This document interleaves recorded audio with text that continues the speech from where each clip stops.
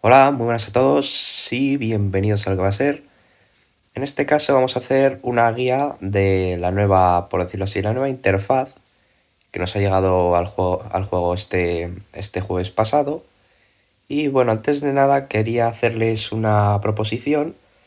Y bueno, si este vídeo es bastante apoyado, eh, estoy pensando en hacer una nueva sección para el canal relacionada con informe de noticias.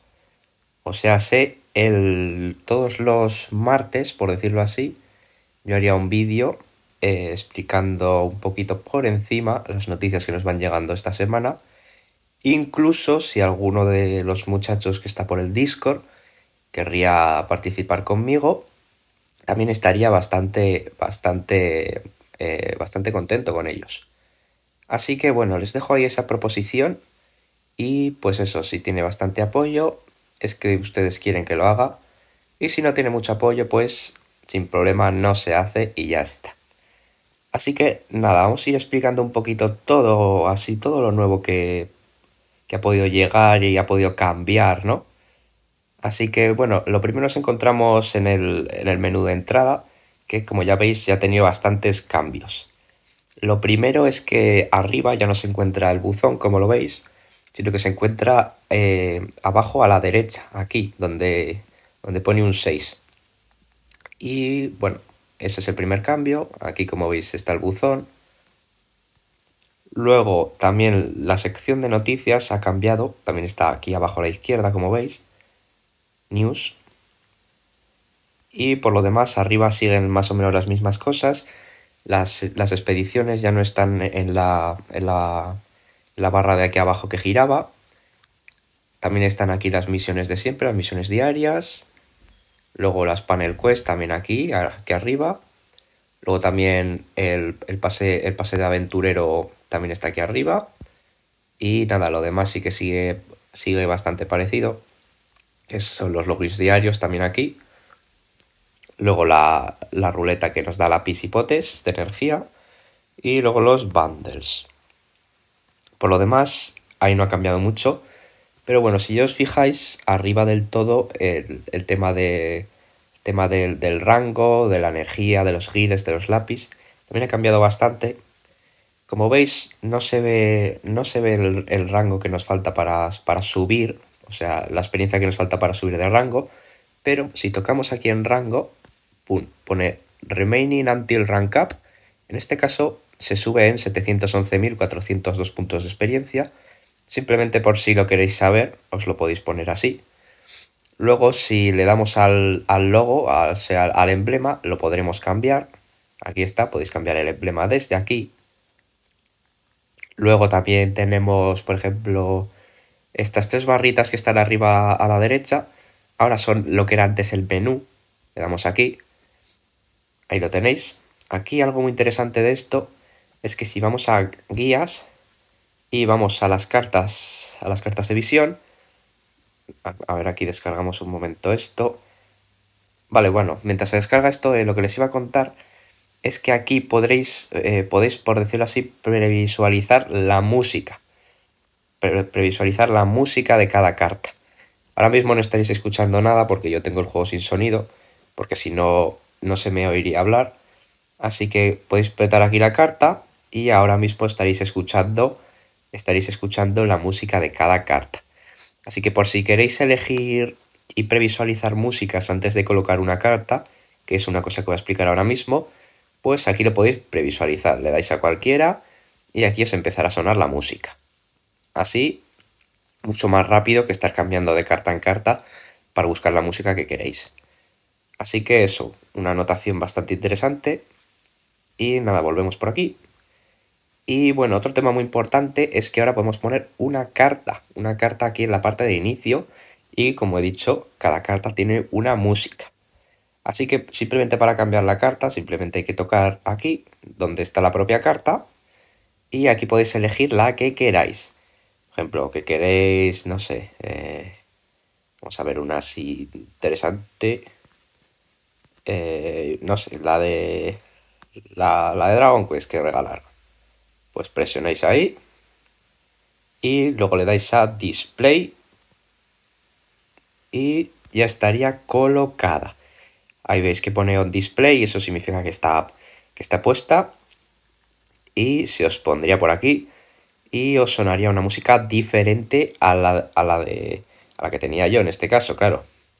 Así que eso también una cosa muy importante a anotar. Vale, luego como veis aquí en la zona de abajo tenemos los orbes de la arena. Tenemos los orbes de la arena aquí. Luego, luego tenemos también el, la grieta dimensional donde están todos los eventos también aquí abajo. También tenemos lo que es la historia. Y también, eh, en este caso, el castillo de Melfikia, que si no me equivoco ahora es permanente. Así que, sobre todo de aquí abajo, eh, han eliminado un par de cositas que antes, que antes, que antes estaban, pero ahora han cambiado de lugar. Así que vamos a... Esta pestaña yo creo que ya está bastante vista y he explicado un poquito, un poquito todo lo que hay. Así que pasamos a la pestaña de unidades. Vale, nada más entrar al juego, si es que aún no habéis entrado y entréis a la pestaña de unidades, os saldrá que todos vuestros castillos, todos vuestros tarros y todos vuestros guilonios se van a, por decirlo así, eh, ir a, lo que va a ser una cámara, por decirlo así, una recámara, que no está, o sea, que no se ve, que no se puede ver desde aquí. eso, eso, eso es bastante útil, ya que así jamás os vais a tener que volver a preocupar por el espacio, porque como sabéis los tarros ocupaban mucho espacio, había que andar vendiéndolos que de a poco, metiéndolos en reserva, así que esta función es mucho, mucho mejor. Así que ustedes cuando les salga ese mensaje le dan a OK y pues, tardará como unos 30 segundos si tenéis buen internet y ahí se os convertirá todo perfecto. Vale, un cambio que he dicho que antes en esa ruletilla de abajo de, de la parte de, la parte de inicio no salía y era el, mejorar los espers, que ahora lo han puesto aquí donde está el tema de las unidades. Aquí está Esper Enhancement. Aquí podéis mejorar los espers y todo como siempre. Luego, más novedades de esta, de esta interfaz nueva. Bueno, luego eh, la lista de unidades sigue siendo la misma. La podéis filtrar como queráis y tal, sin problema. Por cierto, una cosa muy, muy importante es que ahora, ahora si vais al tema de las cartas, ahora las cartas se pueden filtrar. Se pueden filtrar por matas, por resistencias, por, ataque máximo, eh, por lo que sea. Así que muy importante también eso. Luego, seguimos con el tema de las unidades. Eh, pues el visualizar sigue siendo, sigue siendo lo mismo. Luego las reservas. Las reservas también sigue siendo lo mismo, lo único es que como he dicho que las lo que son los, los castillos, los tarros y todo eso, y los gilonios se han, se han trasladado a esa recámara que en verdad no existe, pero está ahí, por decirlo así. Y bueno, luego aquí muy importante la sección de convert.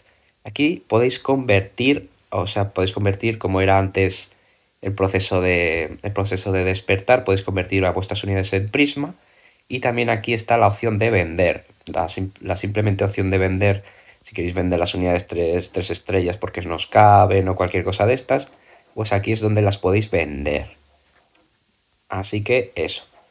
Luego eh, la sección de Bulk Fusion sigue igual, simplemente para fusionar unidades, por si queréis algún TM y tal. Luego la sección de... Esta es la sección que más ha cambiado, que es la sección de Enhance y de Awoken. En este caso vamos a probar con eh, una unidad simplemente. Vamos a coger una unidad Neovisión que no tengamos, que no tengamos subida.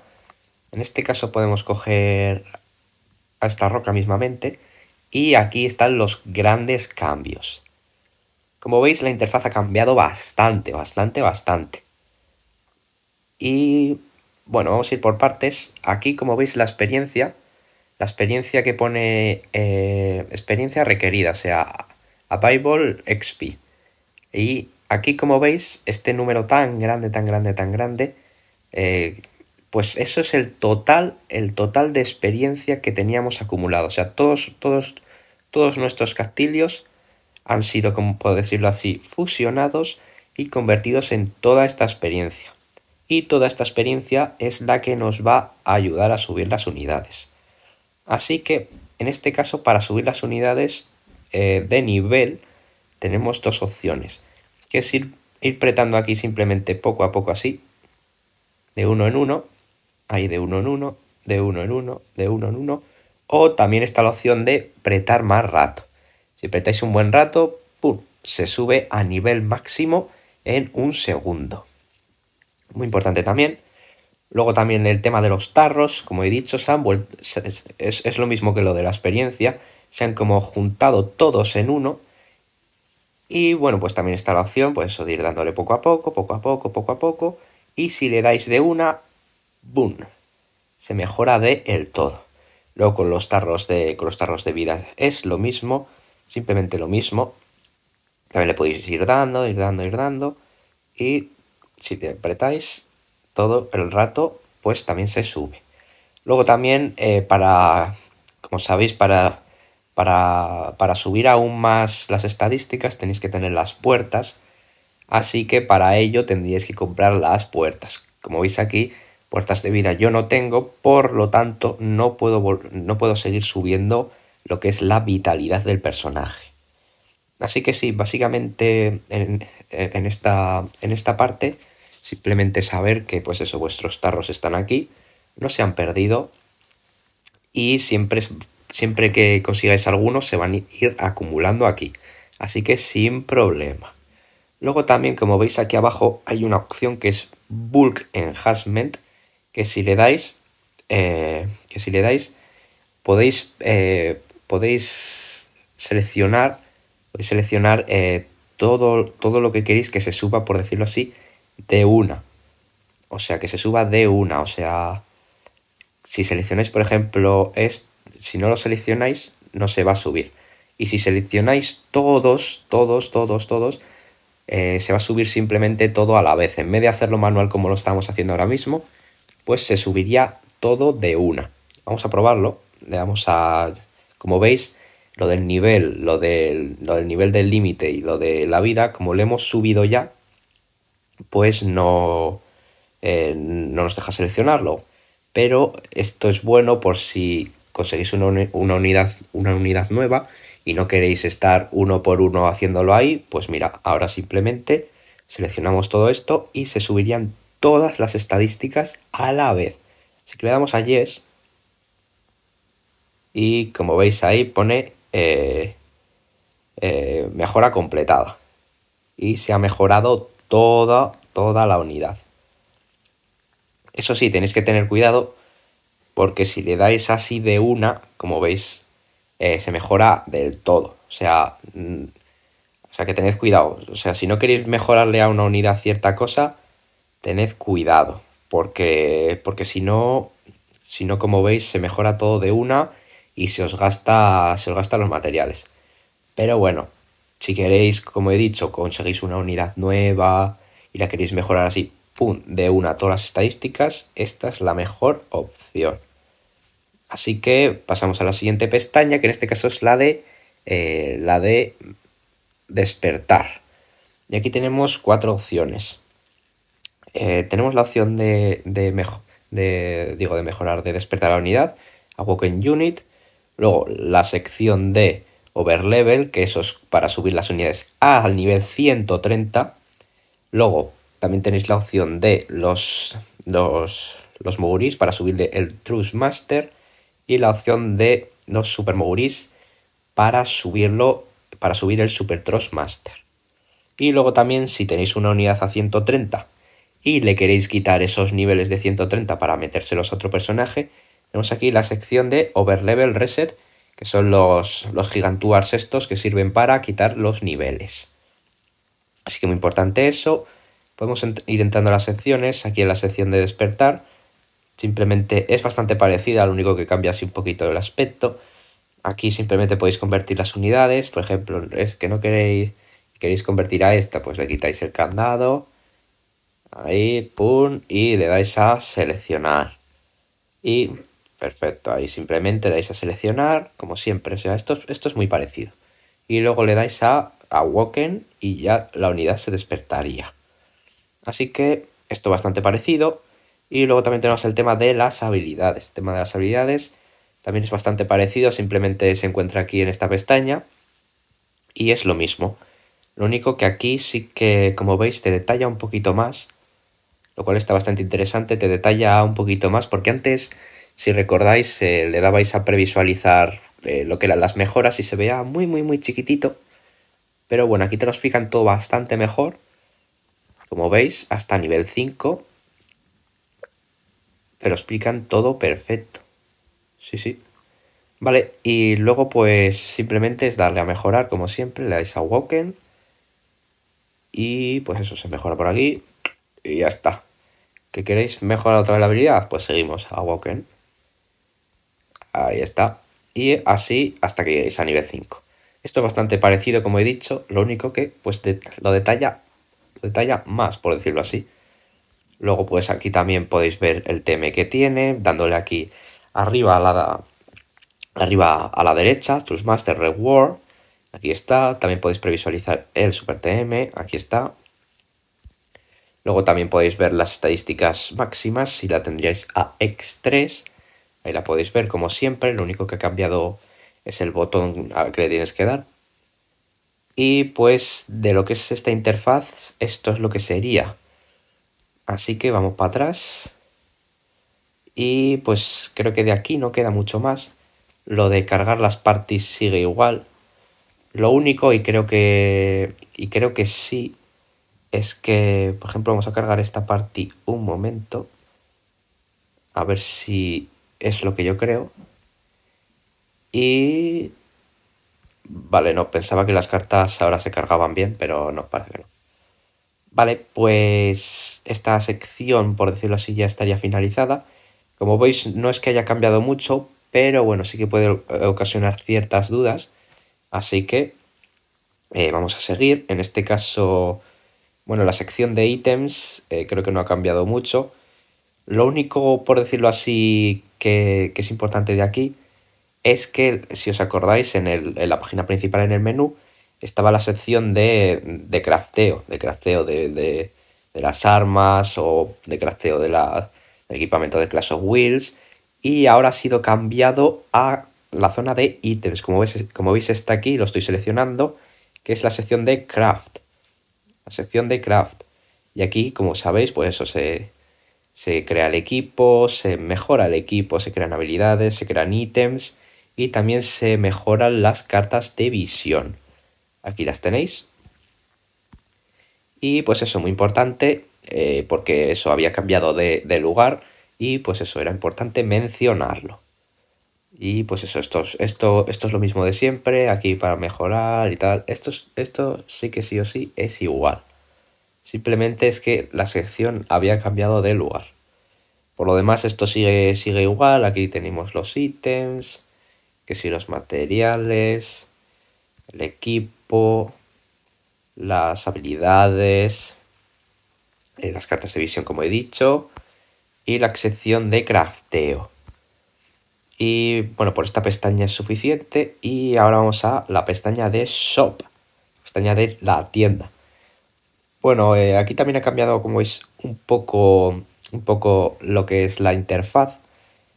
Aquí lo que estoy seleccionando es simplemente para comprar para comprar lápiz, simplemente ello. Esto es lo mismo de siempre. Luego los bundles, lo que es la tienda, esto, esto también sigue igual. Ahí lo tenéis, sigue exactamente igual. Luego también tenemos la sección de Enchant Shop, que en este caso es lo mismo. Siguen aquí, eh, aquí para intercambiar. Si habéis tirado en algún banner las moneditas para intercambiar las cartas de los banners. Esto sigue igual, simplemente que ha cambiado un poquillo el aspecto. Luego, ahora sí, como, como, como recordáis, antes había una pestaña que se llamaba Special Shop. Y pues ahora, en vez de existir esa pestaña, pues ha sido, ha, sido, ha sido como un poco dividida.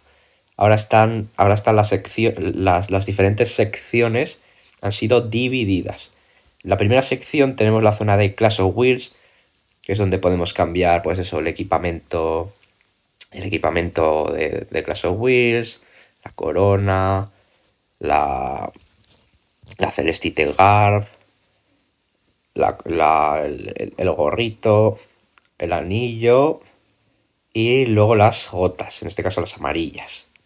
Así que sí, siempre esto sigue igual, lo único es que pues eso ha sido dividido, ¿no? Por decirlo así. Luego también aquí tenemos eh, la, tienda de las Bitcoin, donde podemos comprar pues los tickets y todo ello. Los tickets, también los fragmentos de unidad por EXCoin. Luego aquí también tenemos la tienda de Giles, que como sabéis antes vendían alguna que otra cosa más.